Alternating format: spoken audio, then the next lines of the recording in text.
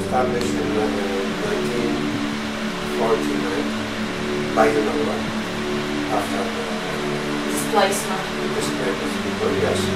And they bring it in and they rent the place for 99 years from the government.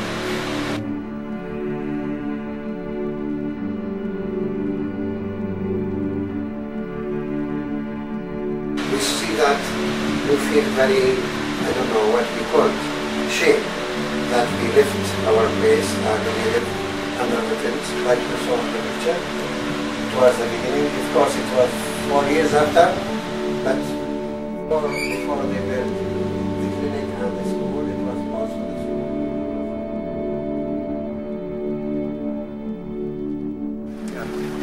Yeah, the, the spring it's just near the mosque, close with the streets, directly.